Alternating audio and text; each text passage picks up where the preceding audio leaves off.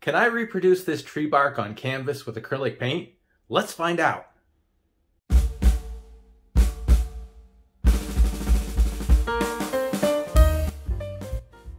Hey guys, a few days ago I had this bark fall off a piece of firewood and I looked at it and I looked at it and I was inspired.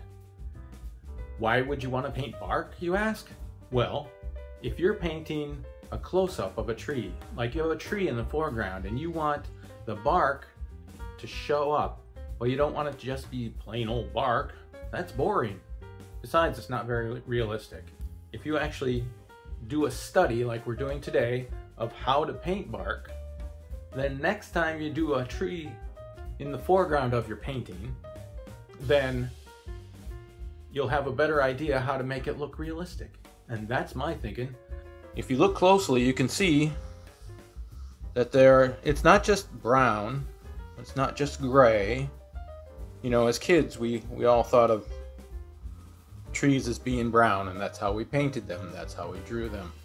But really, if you want realism and depth, what you really want, multiple colors, at least three,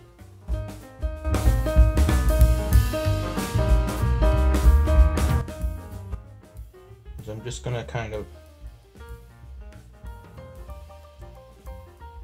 make some broad strokes, leaving some of the areas of that color, of the original color, showing through. What we're trying to do is recreate this uneven pattern here.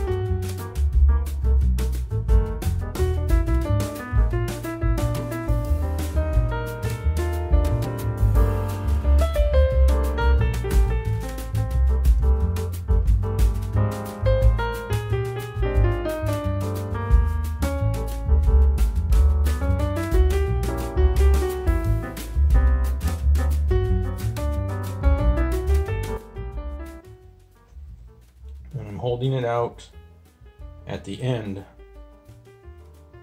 They say you get more control that way, but also I find that you could be looser that way.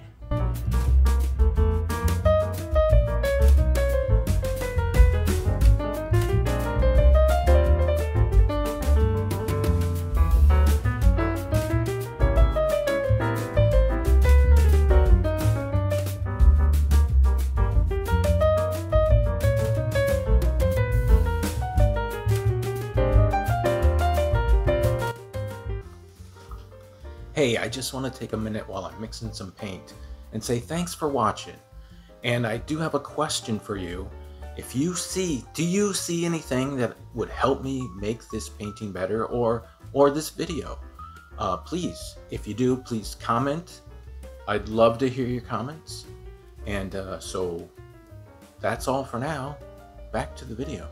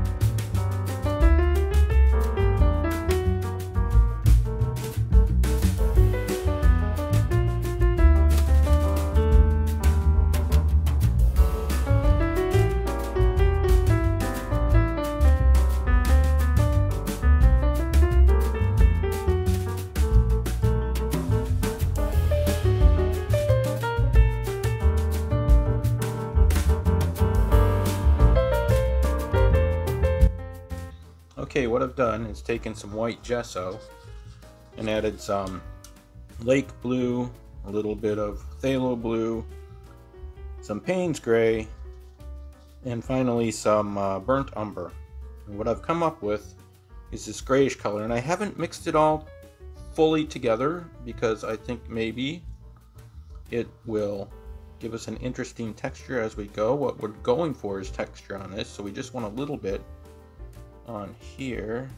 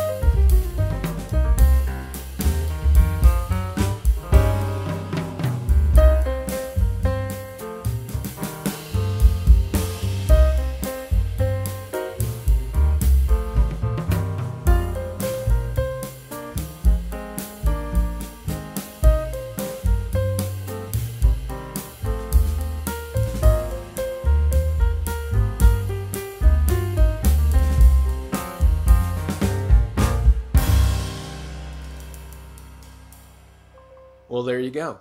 Did I accomplish my mission of painting that bark on this canvas? I'll let you decide. I learned a whole bunch of stuff. One of the things I learned was that I actually prefer it upside down. I think this looks better, so that's how I signed it, like I made it that way. But shh, don't tell anyone. Have a great day.